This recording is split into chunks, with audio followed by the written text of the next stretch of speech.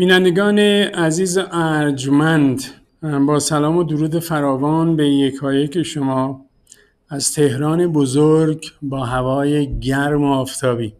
امیدوارم در هر جای جهان بر وسیله که ما رو می‌بینید و یا صدای ما رو میشنوید حال همه شما عزیزان خوب باشه و با خیال راحت و در آرامش کامل این برنامه را دنبال می‌کنید. من جلیل مرتضوی هستم. امروز دوشنبه 13 تیر 1401 خورشیدی و برابر است با 4 جولای 2022 میلادی. 4 جولای روز استقلال امریکاست. به تمام دوستای امریکایی روز استقلال امریکا رو تبریک میگم.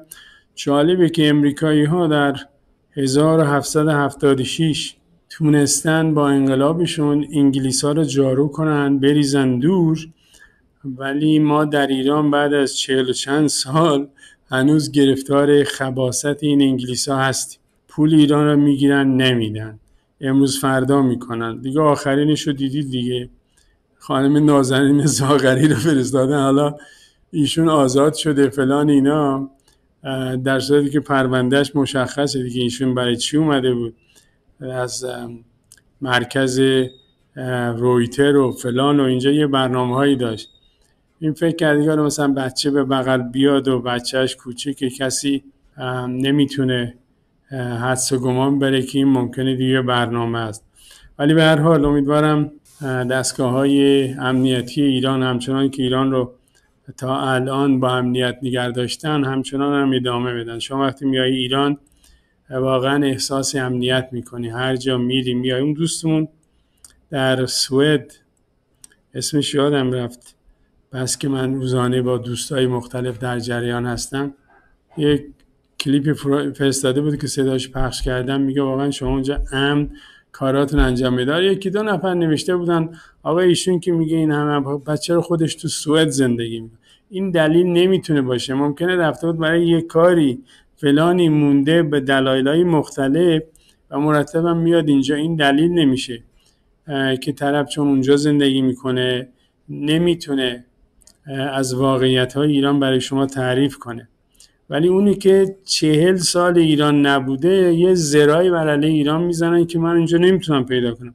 حالا امروز دوستان می‌خوام در مورد سپرایزی که حزب الله به عنوان درون فرستاده به اسرائیل که هشداره که در کابینه اسرائیل هم خیلی مثل که اینها را یک کمی تکون داده البته هیچ ارتباطی با ایران نداره ها. این کاری که مستقل حزب الله داره انجام میده. حالا بهتون توضیح میدم. و اما امریکا هم عجیب به هم ریخته ها. با این جریانی که برای سخت جنین دیوان عالی کشور سوپریم کورت انجام داده. واقعا مردم این زنا به ویژه نمی‌دونن چیکار کنن.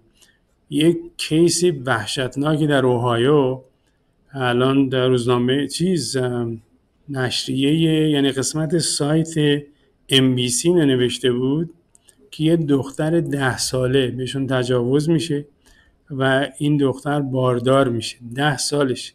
حالا این می‌خواد سخت جنین بکنه باید چیکار بکنه؟ حالا بهتون توضیح میدم که واقعا گرفتاری و به هم ریختگی امریکا. یه دوستی حالا به اینا می‌پردازم. یه دوستی پرسیده بود که آقای مرتضوی از وقت که ایران رفته میسین که شب و روز و تاریخ ماریخ هم که قاطی کردی. نه دوستی عزیز من قاطی نکردم. این اینترنتی که الان ما گرفتاری می‌دونیم مثل امریکا نیستش که تو اینترنتت 24 ساعته هستش به همون شکل. و ضمنا اینجا اینترنت گرونه. شما مثل کارت تلفن می‌گیری هر موقع تموم شد دوباره باید پول بدی. این نیستش که فقط نصب کنی یا استفاده کنی. فعلا این شکلیه. ما باید با قوانین اینجا کار کنیم. ضمنا فیلتر هم یه مشکل دیگه داره. خب اینا چیز هستش که به حال اینجا اینجوریه. شما هر جا میرید باید قوانین اونجا رو رعایت کنیم. ما هم سعی می‌کنیم که در چارچوب قوانین بعضی موقع یه مقدار هول میدیم. ولی خب قوانین همینی که هست. ابتدا یکی دو تا همین سه چهار تا سوال هم من شده بود در مورد آپارتمانی که در اختیار منه و ماشینی که می‌خوایم بگیریم. یکی گفته بود که این آپارتمان یه خود گرونه 50 دلار به شبی. دوست عزیز این برای هر کسی که نیست این یه آپارتمان مستقل دو خوابه هست در آریا شهر با تمام امکاناتی که آپارتمان داره. ضمنا دیگه اونجا هستید خانواده اونایی که حساب میان تهران کسی رو ندارن یا خانواده فامیلای دوردستی دارن که نمی‌خوان برن یا اونی که تو شهرستانی می‌خواد بیاد تهران یه کارایی داره اینا همه برای ایرانیان خارج از کشورها نه برای داخل. داخل نیازی به این چیزا ندارن. و ضمنا مشاورایی هستن که شما اگر مشکلی دارین این مشکلاتون حل کنه اگر دنبال دکتری دارویی کار اداری مشاوره به شما راه و چاه و نشون میدن. خانم هایی که دوست دارن یه خورده بگردن چیزهایی که خانم ها علاقه دارن اونا هم ما مشاورای خانم در اختیارشون می‌ذاریم. اینه که به این خاطره که این یک چیز اکسکلوسیوه و برای همه نیست. حالا ممکنه برای کسی پنجاه دلار شب گرون باشه و من فکر نمی کنم چون ما این قیمت ها رو شما تو تهران ندیدید. بنابراین این از این. و ضمنا برای اینکه یه ماشین هم در اختیار ما باشه این ماشین ما نمی‌تونیم داشته باشیم چون پول نداریم. گفتم خدمتتون یکی گفته بود ماشین چه نوع ماشین؟ با خود معروف که این ماشین اسباب بازی دیگه. به این ماشین نو که نمی‌تونیم داشته باشیم گیرونه 500 میلیونه. ماشینی که من علاقه دارم رفتم دیدم یا سمند یا پرشیا. و حتما من اصرارم این که این ماشین باید ساخت ایران باشه. در غیر این صورت من نمی‌گیرم. چون من تمام چیزایی که اینجا دارم و می‌خرم همه باید ساخت ایران باشه. چون ایران واقعا چیزای خوب می‌سازه. ممتها تبلیغات بر علیه ایران اینقدر زیاده تبلیغات سوی. همه فکر می‌کنن که آره باورتون نمیشه. من جاهایی رفتم میگن آقا داستان اینه که جنس ایرانی را به نام ترکیه میفروشن. به نام نمی‌دونم فلان کشور میفروشن. چون اگه بگن ایرانی چون تبلیغ بر علیهشه به اون قیمت نمی‌خورن. این برای من فوق العاده ناراحت کننده است. به همین خاطر این ماشین ماشین دست دوم دیگه. ببین من می‌خوام که دوستایی که علاقه من در ایران دوستا که بتونیم با همین ماشین رو بخریم. ماشین 250 میلیون تومنه. هم دوستایی مثل آقای مهندس خوراس تماس بگیرن و حال بدن یه بحث دیگه است. ولی اون اینقدر کمک کرده ما دیگه روم نمیشه به آقای خراسانی زنگ یا به بیژن صد در تکساس خوشحال شدم خودش و خانوادهش ببینم. به آقای حقو هم که نمی‌تونیم چیزی بگیم چون تمام مخارج استودیو و اینترنت نه همه رو فعلا ایشون داده و ادامه میده. بنابراین دوستا این برای ایران دوستانی که در اونور هستن برای خرید این اتومبیل که وقتی اومدن در اختیارشون باشه. این ور اونور میرم و ضمنا منم که اینجا هستم بتونم ازش استفاده بکنم.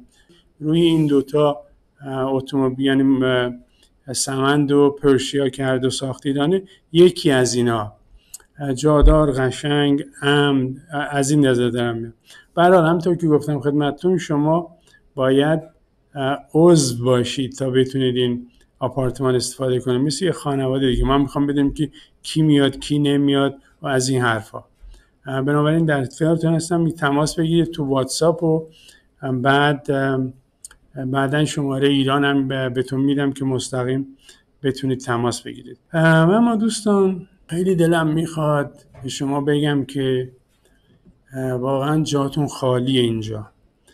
یکی از دوستان نوشته آقای مرتضوی فکر می‌کنم البته دوست نمی‌تونه باشه یکی از بیننده گفته من فکر شما دارید دروغ میگید. تو اروپا هستید دارید تعطیلات خوش میگذره علکی میگید در ایرانید اگر در ایرانی چرا نمی‌دید رستورانی جایی فلانی عکسی بگیرید فلان کنید.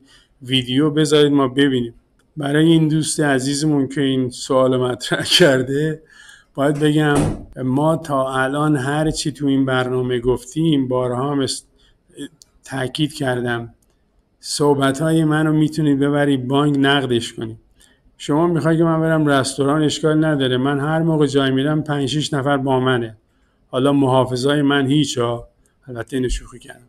این 5 6 نفر همیشه با منه. برم یه رستوران خوب ویدیو اینا بگیرم و اشکالی از اونها اجازه بگیرم فلان.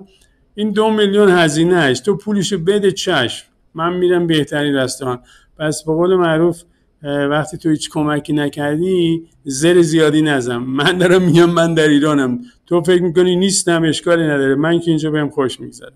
امیدوارم دوستان وقتی اومدن اینجا خودشون می‌دونن دیگه. احتیاج نیست که من تعریف کنم از ایران. و اما دوستان اتفاق خیلی جالبی افتاده که حزب الله لبنان یک درونی فرستاده به اسرائیل یکی دوتا. بهش میگن ریکانسن پلین یعنی از اونایی که فقط برای شناسایی. اون تخریبم نداره. فقط برای شناسایی میگم میگم من می‌دونم شما کجا هستید و اینا. آقا این چه نگرانی در اسرائیل به وجود آورده که لپت که فعلا نخست وزیر جدید اسرائیل نه البته موقت خود اسرائیل هم به هم ریخته هنوز نمی‌تونن جمعش کنن. اون گفته آره این درون برای ما خطرناکه ما باید یه کاری بکنیم و جلوی حزب الله وایسیم فلان. حالا داستان چیه؟ فرستادن این درون به اسرائیل هیچ ارتباطی به ایران نداره. من بارها گفتم حزب الله مستقل داره عمل می‌کنه. حالا بعضی هم نه دست ایران نخیر اینجوری هم نیستش. از نظر فکری و ایدئولوژی همه شیعان با همن آرمانشون فکرشون مقاومتشون اینا آره. ولی تصمیم شخصی توسط حزب الله لبنانه حزب الله لبنان به این نتیجه رسیده که اسرائیل در اون آبی که بین هستش مدیترانه بین حساب مرز اسرائیل و لبنان اینا به این نتیجه رسیدن دارن اونجا نفت گاز لبنان میدوزدن حسن نصرالله دبیرکل حزب الله هشدار داده که اگر بخوان از این شیطنت ها بکنن ما جلوشون وامیستیم و این درون رو فرستادیم که برای شناسایی که بدونن ما می‌تونیم این کار رو بکنیم. این درون نه درون حمله بود نه تخریب داشت. فقط برای شناسایی. حالا اینا میگن ای این درون چجوری تونسته بیاد داخل اسرائیل؟ حالا بگذاریم اسرائیلی ها میگن ما زدیم انداختیمش پایین. ولی به هر حال این تصمیم شخصی به خاطر منابع لبنان و تمامیت ارزیه اونا تشخیص دادن اسرائیلیا. می‌خوان گازشون از منطقه‌ای که مال لبنانه بدزدن و لبنانی ها که همون حزب الله باشه هم مردم فکر میگم که حزب الله یعنی چی حزب الله بچه شیعه لبنان سیتیزنی اونجا هستن جز مقاومت هم برای دفاع از کشورشون. جای دیگه هم که نیست. شما اگه کسی بخواد از خونتون دزدی بکنه چیکار می‌کنی؟ عین همون. خیلی ساده. به حال این جریان هستش من دنبال می‌کنم که شما را در جریان برنامه های آینده می‌ذارم. و اما دوستان یه چیزی عجیبی در از وقتی من اومدم از امریکا همه چی به هم ریخته. حالا بگذاریم چیزای اقتصادی جای خودش گرونی بنزین قیمت. ها دوستانی که از امریکا با من در تماسن اینا که بچه های ایران دیگه که من سالها می‌شناسم ایشون. اینا میگن آقا قیمت ها وحشتناک رفته بالا. شکایت ها همه همه جا شروع شده. حالا همه اینا به جای خودش این قانونی که سپریم کورت دیوان عالی کشور در امریکا لغو کرده که زنها حق سخت جنین به عنوان قانون سراسری را از بین بردن و گفتن که باید سخت جنین ایالت به ایالت تصمیم گرفته بشه. هر ایالتی می‌خواد می‌تونه. و ایالت هایی که نمی‌خواد اونجا قدغن غیرقانونی.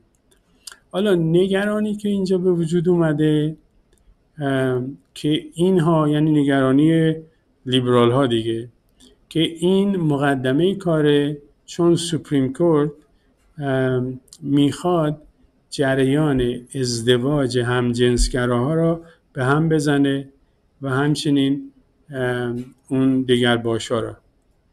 این میگن برنامه بعدیشونه. حالا همین سخت جنین یه گرفتاری های عجیب و غریبی در امریکا به وجود آورده که واقعا حیرت انگیز. یه دختر ده ساله. این توجه داشته باشید. یک دختر ده ساله در ایالت اوهایو. دوستان ایالت اوهایو در وسط امریکاست. اون ورش ایندیاناست این ورش هم چیزه ایالت ایلانویه از ایالت هایی هستش که در انتخابات و اینا بیشتر وقتا به جمهوری خواه رأی میدن.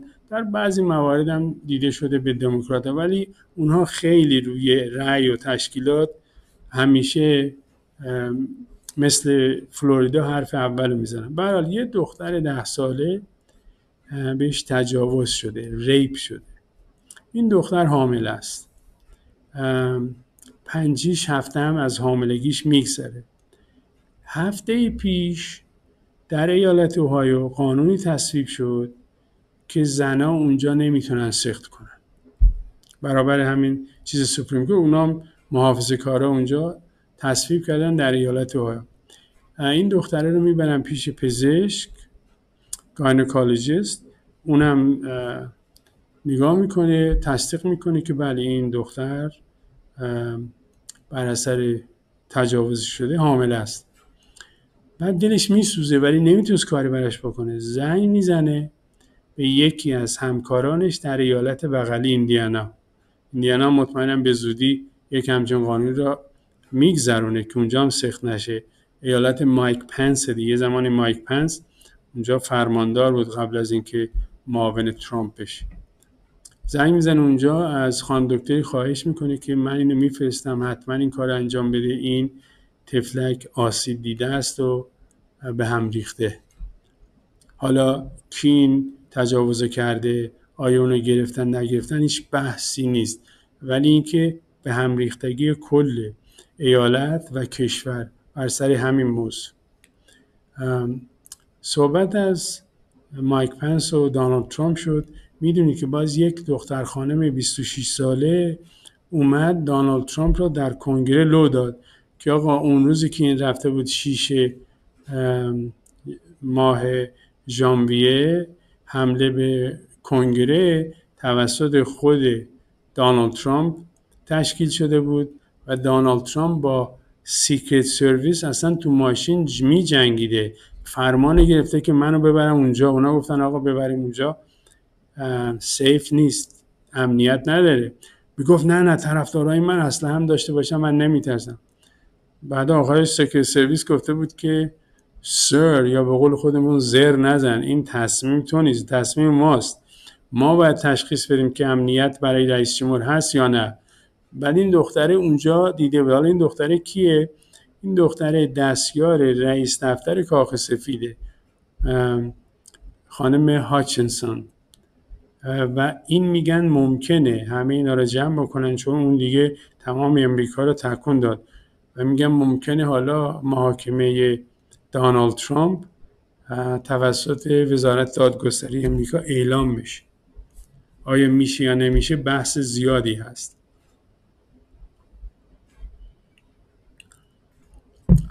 به حالا تا اونجا برسیم. ببخشید. برسیم چی بشه چه نشه.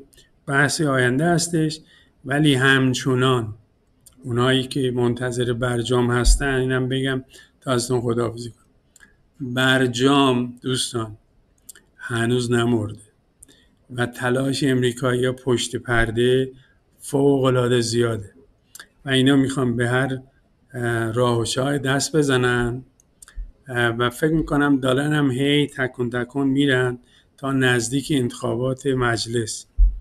که این برجام رو قبول کنن و بگن این پیروزی ماست. نفت و بنزین ایران همراه با ونزوئلا وارد بازار بشه که هم قیمت ها رو بیاره پایین و جلوگیری از پیشرفت روسا در اوکراین. اوکراین دیگه تموم شده من نمی‌دونم چی جلوگیری می‌خوام بکنن. به حال این نقشه است. روی این کار می‌کنن و ایرانی ها هم سفت و سخت وایستادن که ما مشکلی نداریم. هر موقع شما خواستید ما حاضریم ممتا خواسته های ما همینه. در آینده هم همین خواهد بود. چون از برجام گذشته که ما همه چی امضا دادیم رفتیم فلان هیچ چیزی در ارتباط با اقتصاد گیر ما نیومده و ما اشتباه دوم نمی کنیم اولی رو کردیم که به دنیا ثابت کنیم ما اهل مذاکره هستیم. الان هم میگه ما اهل مذاکره ایم ممتا خواسته های ما الان اینه. شما میگید اورانیوم من رو باید غنی کنیم. شما اومدید از برجام بیرون دیگه برجام برای ما بیمعنی اگه می‌خواید اشکال نداره برمیگردیم به اینم خواسته های ما. فعلا همینو ایران داره ادامه میده و امریکایی ها هم شدیدن دارن راه راههای دیگه مطالعه می‌کنن و هیچ راهی نداره.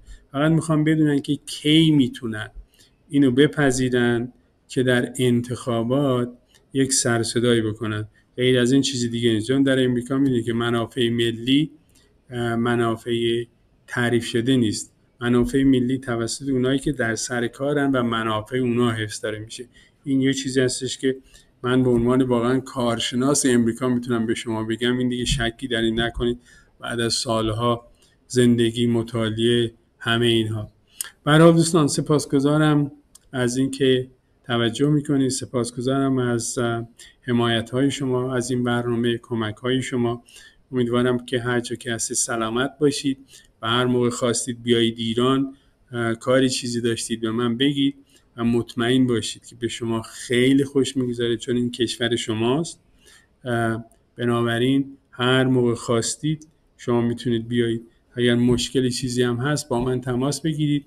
ولی من فعلا اینجا دارم حال می‌کنم و بارها گفتم.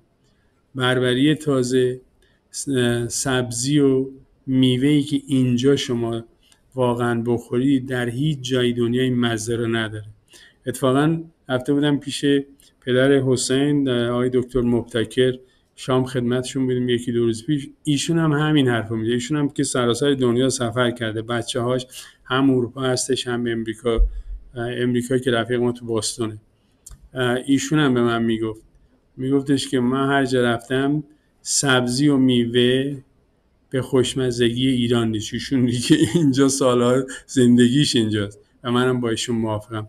برای سپاسگزارم از وقتتون وقت منم تموم شد. تا برنامه بعد همه شما را به خدای بزرگ میسپارم. خدا یار نگهدار شما بود